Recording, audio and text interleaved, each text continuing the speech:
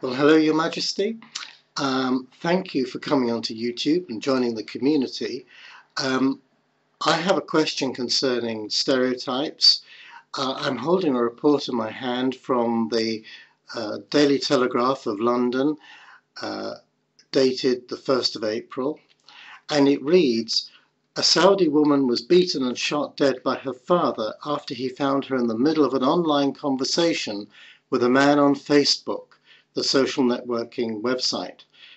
Ali al-Maliki, a Saudi preacher, told the Al Arabiya website that Facebook was corrupting the youth of the nation. Facebook is a door to lust, and young women and men are spending more on their mobile phones and the internet than they are spending on food, he said. The woman was murdered in Riyadh in August, but her death was disclosed only yesterday.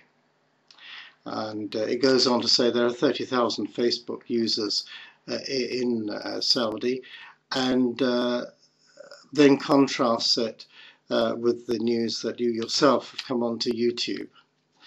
Uh, the stereotype, certainly for myself, speaking as a Westerner, is that much that comes out of Arabian and Islamic um, culture uh, is not only backward but brutal.